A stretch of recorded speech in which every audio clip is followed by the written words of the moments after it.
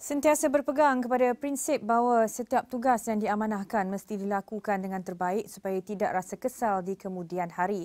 Prinsip yang digenggam Datuk Asariah Mior Syahrudin sepanjang kerjanya sebagai warga pendidik dalam mencurah bakti kepada anak bangsa ternyata tidak sia-sia.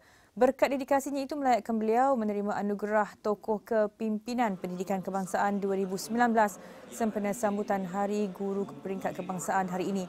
Bagi Datuk Asariah, cintanya kepada dunia pendidikan mendorong beliau berusaha keras bagi memartabatkan golongan pendidik tanah air dan profesion perguruan negara.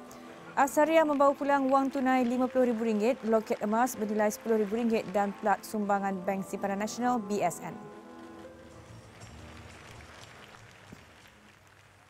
Satu daripada inisiatif yang saya rasa memberi kepuasan kepada saya ialah apabila saya dan pasukan. Sebenarnya yang berada di sini adalah sama dalam tim saya.